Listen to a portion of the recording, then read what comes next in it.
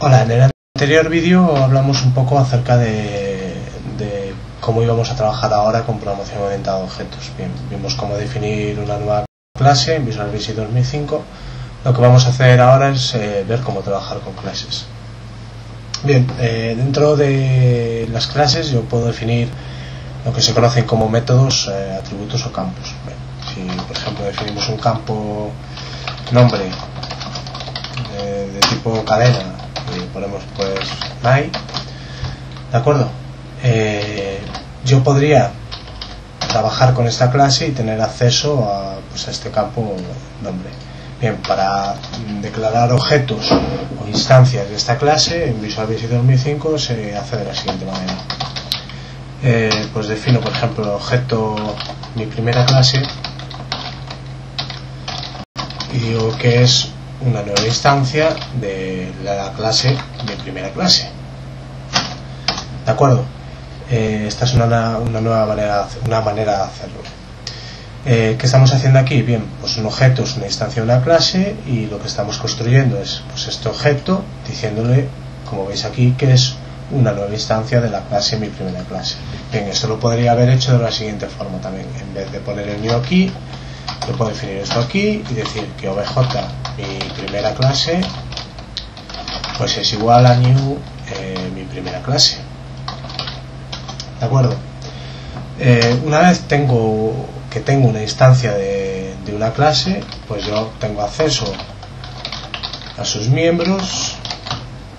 Fijaros marco todo y veis que ya tengo acceso al campo nombre si este campo lo hubiera puesto como privado esto es algo que veremos más adelante a hacer esto, pues eh, fijaros que ya no tengo pues acceso a ese campo. Si tengo esta serie de métodos y esto es debido a que por defecto todos los tipos que yo cree pues derivan de la clase object y me dan estos cuatro métodos para trabajar. ¿De acuerdo?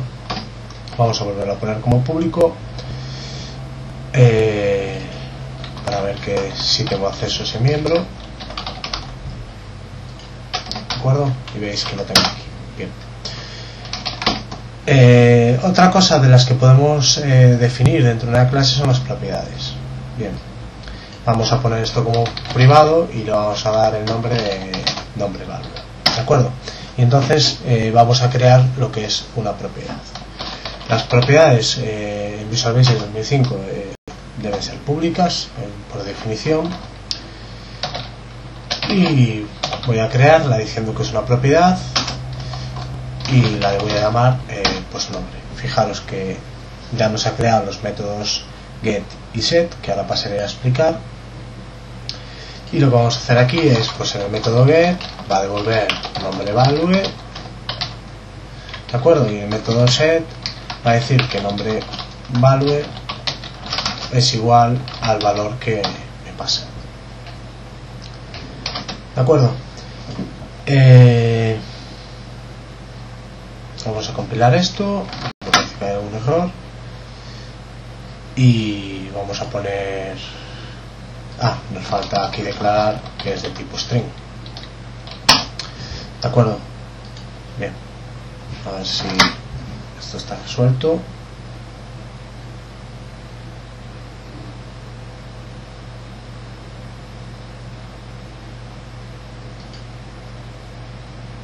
bien nos falta aquí. Y bien esto ya lo tenemos todo. De acuerdo lo que nos estaba diciendo es que al tener como opción recomendable option strict down pues que, tenemos que declarar pues el tipo al que pertenecen las variables. No nos faltaba tanto en la propiedad nombre como en el valor ese que le pasamos a set pues declarar que era de tipo string de acuerdo ¿cómo funcionan los atributos? Bien, fijaros, eh, yo voy a definir aquí una cadena. Eh, le voy a dar, por ejemplo, pues, eh, ¿De acuerdo? Y ahora voy a hacer que cadena sea J, mi primera clase, perdón, pues nombre. Bien, eh, cuando yo tengo un atributo del lado derecho de una asignación, lo que va a hacer es eh, implícitamente llamar al método get, es decir, cuando yo hago esto del lado derecho pues está llamando al método get este método get me está devolviendo en este caso lo que vale la variable nombre evalue o el campo nombre value perdón y se lo está asignando eh, a la variable de tipo string cadena. Bien si esto lo hiciera al revés es decir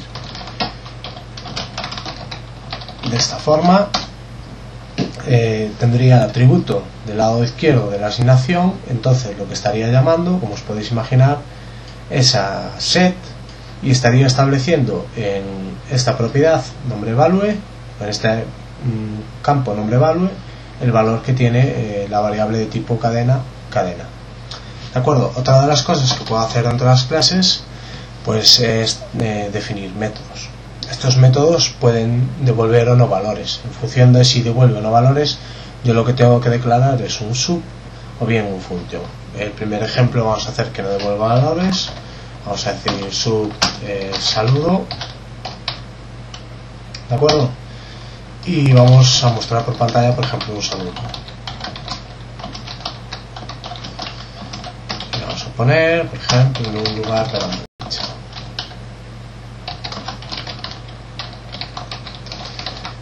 de acuerdo si quiero que devuelva algún tipo de valor pues lo que voy a hacer es eh, un función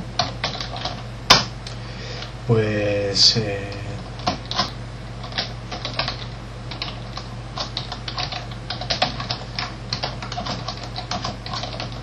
defino el tipo de valor que va a devolver.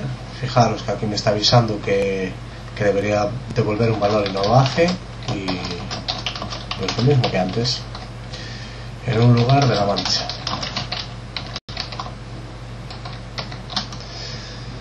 de acuerdo entonces eh, como veíamos aquí teníamos la instancia vamos a quitar estos espacios teníamos la instancia de la clase teníamos acceso a los atributos y también tenemos acceso pues a, a las funciones o a los sub que creemos, es decir, a los métodos de la clase.